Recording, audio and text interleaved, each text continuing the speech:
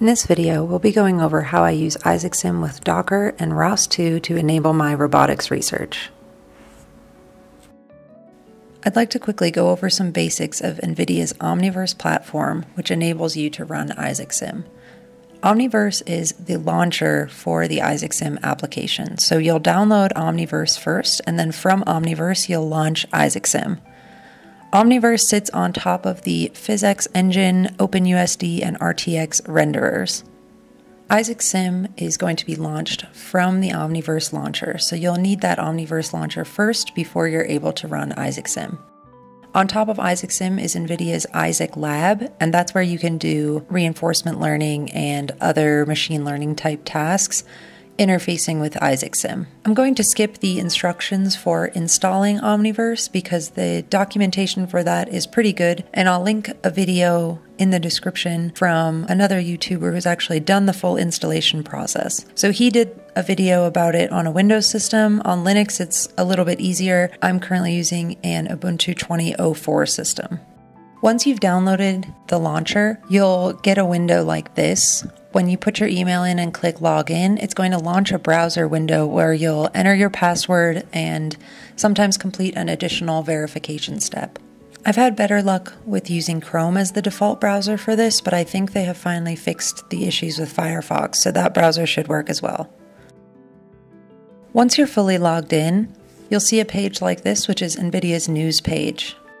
There are other tabs up here as well, and you can briefly go through those to see what's in them. But for us, we'll take a look at Exchange, and this is where all of the applications that you can launch from Omniverse exist. So you'll go here to install applications, and then eventually you'll go to library once those applications are installed. And from library, you'll be able to launch the applications. I'm going to search IsaacSim here, and you'll see these two options. If you're unsure if your system meets the requirements to run IsaacSim, I strongly recommend you download the IsaacSim compatibility checker and give that a run through before you download IsaacSim, since IsaacSim is pretty uh, large and will take a while to download. Okay, so you can see here I already have Isaac Sim installed, but you should see an install button. I recommend going with the latest release version from Isaac Sim. It's usually the most stable, and the Isaac examples will be better in the most recent release. Once Isaac Sim is installed, you can see it in the Library tab, and you'll be able to use this uh, menu dropdown to select which release you want. So I've downloaded these three different releases at different points. I usually just run the latest version of Isaac Sim because it's generally the most stable. So I'd recommend you do that if you're just starting out. Okay, your installation for IsaacSim may take a while depending on your system. So, in the meantime, let's go ahead and do a walkthrough of the code from the Code Mechanics Git repository. This repo is public and you should be able to download it yourself. I'll put a link in the description below. Once you've cloned the repo, you'll see four files in here a Docker file, the fastdds.xml file, teleop YAML file, and the README. Let's take a look at the README first. So you'll see references here to the Turtlebot 3 simulation and the nav2params.yaml file. Turtlebot 3 uses the Gazebo simulator, not IsaacSim. So if your system can't run IsaacSim for compatibility reasons, maybe you don't have the right GPU, you can actually try running this Docker file and using the Turtlebot 3 simulator with Gazebo to see if your networking works correctly. The nav2 params file comes from the nav2 ROS package, and I'll put a link to that in the description below. Next, you'll see the command to build the Docker image. That's what we need in order to actually run the container. And then the command to run the Docker container once it's been built. You'll also see the docker run command down here, and I want to bring your attention to the device input. So, this device input is a wired Xbox controller that I have hooked up to my machine. And what I'm doing here is mapping it from my host machine into the Docker container so that all of the commands to the Xbox controller will go through ROS to Isaac Sim to control the vehicle in the simulator. Now, let me show you how to figure out where your Xbox controller is mapped to in your Linux system. So I have my controller plugged in and I'm going to do this command ls slash dev slash input. Notice here that I have this JS0 and JS1 in my device input directory. I've unplugged the controller now and notice that the JS1 has disappeared. So JS0 is actually allocated to something else on my machine right now. And when I plug the controller back into my machine and I run this command again, you'll see that JS1 pops back up. So that's how I know that JS1 is where my Xbox controller is mapping to. And in my docker run command, I'll need to use JS1 instead of the default JS0 to map that into the container. Okay, the next thing to be conscientious of is this ROS domain ID. You may have another ROS enabled device on your system, and that may have the domain ID of zero already. So you'll want to choose a different ROS domain ID to make sure that those two don't conflict with each other. Inside of IsaacSim, you'll be able to change that domain ID so that you can keep your robots from conflicting with each other. The other command in here is the docker exec command. This is going to allow us to attach to running containers, and we'll use that in this demo. If you want to go ahead and start the Turtlebot simulation, everything should be in the container once you've built the Docker image and then run the container. So all you'll need to do is cd and then dot slash start simulation, and that should start the Turtlebot simulator. This is not necessary for the IsaacSim portion of this, but it's a great debugging tool if you aren't sure whether your ROS issues are related to IsaacSim or maybe something going on with your local machine. Try with the Turtlebot simulator and just see if that works. Also, a great option if you don't have the compute necessary to run IsaacSim. Down below the troubleshooting section in the README are all the instructions for the wired Xbox controller. I'll tell you which controller I'm using in the description below. This fastdds.xml file is necessary for the IsaacSim ROS bridge. There's really good documentation for this from NVIDIA available online, so I'll link that for you. But one thing to note is that the Docker file is expecting this fastdds.xml file to be in the same directory as the Docker file. If you move this fastdds.xml file, you will need to change a line in the Docker file, and I'll show you where that is later on in the video. Okay, so the reason I started using Docker is because I wanted to use Ubuntu 2204, and my host system is 2004. So that's what got me started using Docker. And now I've just realized that it's a great way to work with collaborators because all of the packages that my collaborators would need will already be in this Docker container. All they have to do is build the image and run the container, and we'll all be working with the same set of package dependencies, which is really helpful if you're on different machines with different hardware and different operating systems. Okay, so here we're setting some UDEV rules for the joystick. Then you'll see lots of ROS2 related setup commands. There's the Turtlebot 3 environment variable setup. Then there's where we actually clone the Turtlebot simulation repository.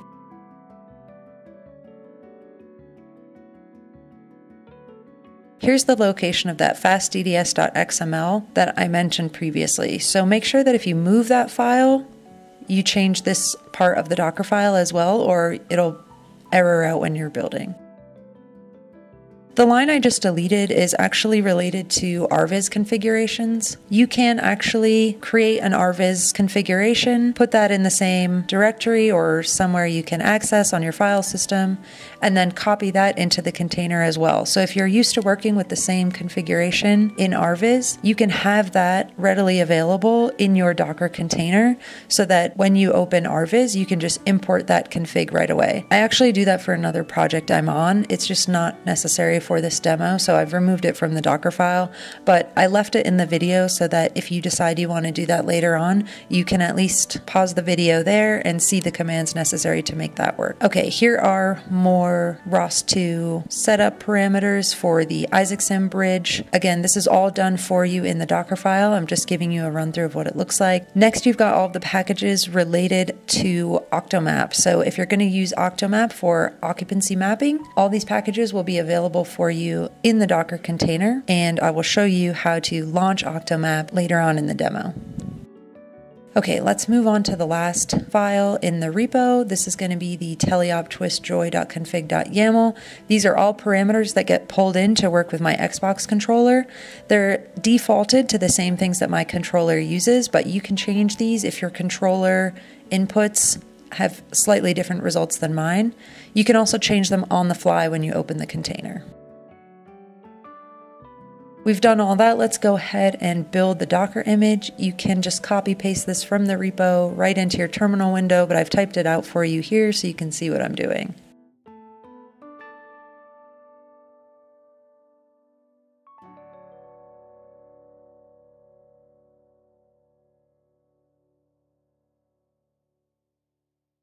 If it's your first time building this image, it's going to take a while, so I'm just going to skip ahead in the video till we get to the run command.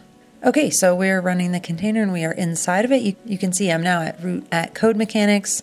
That's how I know I'm in the container. And you can see all the related files that we would expect from the ROS2 package build to the start startsimulation.sh if you're going to use Turtlebot.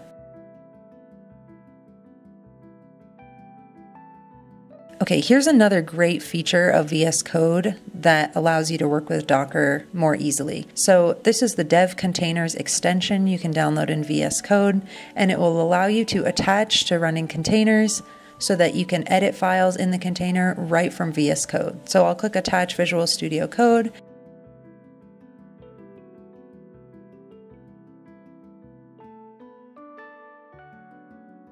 it pops up this new window, and now I'm actually able to open folders inside my Docker container. So you can see my ROS2 workspace here, and I'll just show you how we can get right to these Octomap packages that I pulled in. You can just go right to the source code and edit the source code right inside this Visual Studio Code window.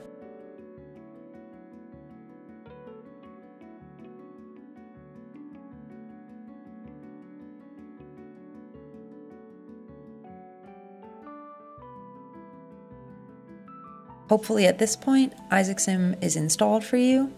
Let's go ahead and launch it from the Omniverse launcher. So when you click launch, it's going to bring up this IsaacSim app selector. Don't worry about the extra args line here, but make sure that this ROSBridge extension is ROSBridge ROS2 underscore bridge. You want to make sure that's set before you hit start in the app selector.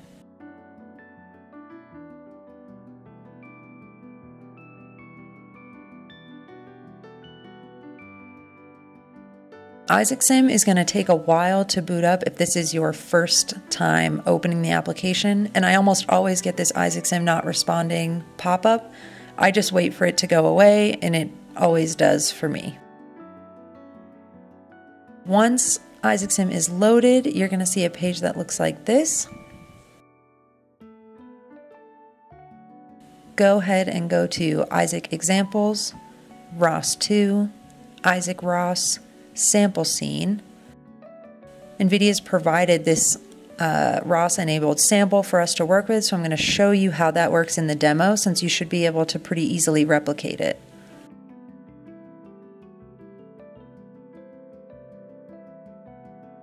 It's going to take a little while to load this. If you're curious about whether or not it's making progress, you've got these progress bars, physics tasks, and the overall progress bar on the bottom.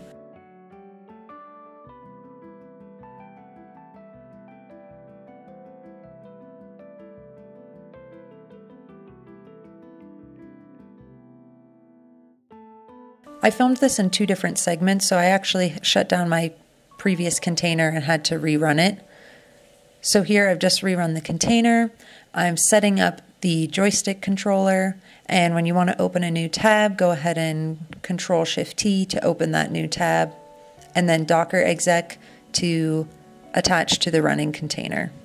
This is all in the README as well, so feel free to either slow the video down or just reference the README for the commands that you'll need. Okay, I also need to run another node related to the Xbox controller, so you should see these parameters and what they're set to when you start the Teleop Twist Joy node. Let's go ahead and attach to another container.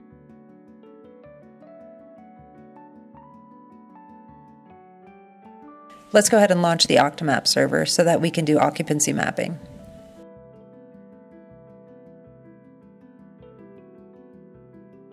If you want to check that ROS is working, you can go ahead and do this ROS2 topic list. So we can see a lot of topics here, but just because we see a topic doesn't mean that there's actually messages being sent on that topic. So to check that, we're going to go ahead and do a ROS2 topic echo, and we'll check the Octomap binary topic and see if there's any data publishing on that.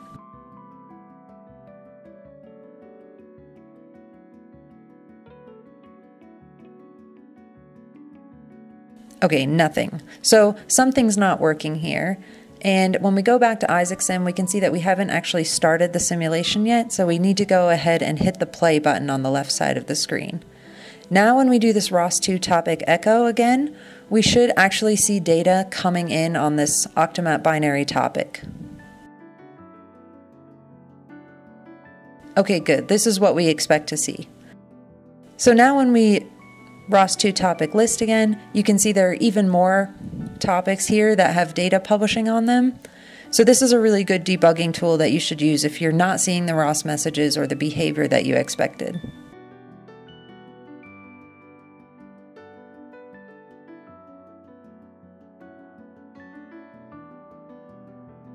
Let's go ahead and launch RViz 2 so that we can see the occupancy grids.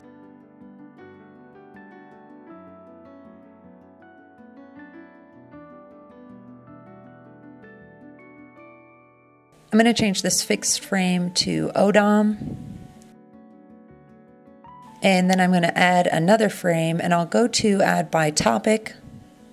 And here I can directly select the occupancy grid for Octomap Full. Okay, great. So here we can see that Octomap is working.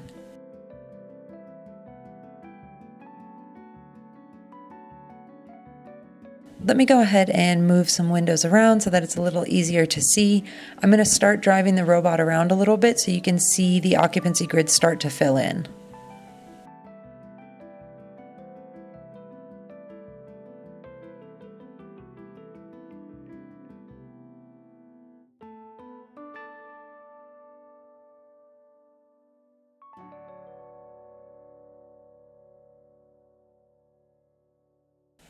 Okay, so I'm driving the robot around now with my Xbox controller, and you can see that the occupancy grid is starting to fill in much more. This warehouse scene is actually quite large, so the LiDAR range isn't big enough to pick up all of the walls. So I'll drive you close to a wall so that you can see the, that whole wall being filled in as the robot approaches.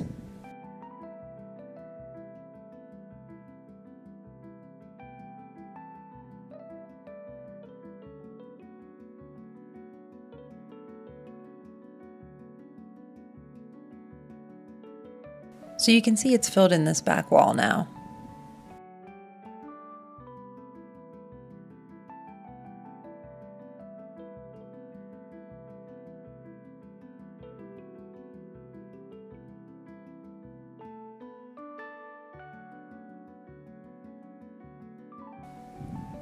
Whoops.